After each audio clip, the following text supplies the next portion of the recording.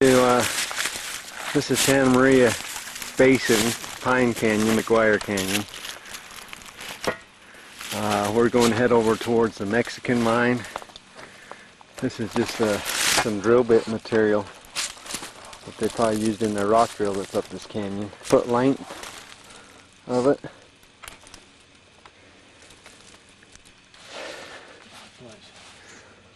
Maybe they had a blacksmith shop in the area or something, or who knows. Not much snow up here.